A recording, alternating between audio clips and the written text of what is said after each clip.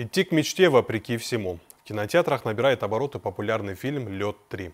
Зрители смогут окунуться в продолжение ледовой сказки и пережить вместе с главными героями все трудности на пути к чемпионскому пьедесталу. На показе кинокартины побывал Алихан Липшоков. Продолжение ледяной сказки ждали все российские зрители. История хоккеиста Горина и его дочки Нади, бессменной наставницы Ирины Шаталиной, не осталась без внимания и любителями нашего кино в Карачаево-Черкесии. В особенности посмотреть фильм «Лед 3» пришли представители молодого поколения.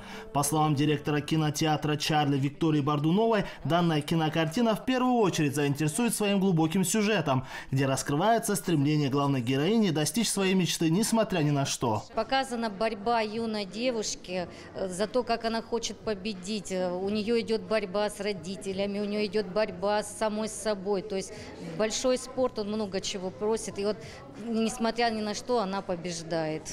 Юная фигуристка Надя Горина, которая после травмы, полученной на самом пике своей формы, находит в себе силы, чтобы вернуться в большой спорт.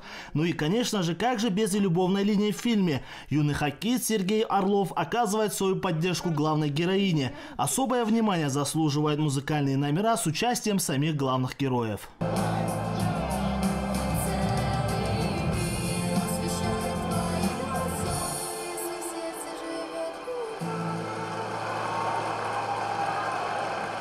Каждый из нас переживал вместе с главными героями различные трудные ситуации, а вот финал фильма даже заставил нас прослезиться, отмечают зрители. Герои хорошо сыграли, они хорошо передали свои эмоции, и очень был крутой фильм. Советую всем посмотреть.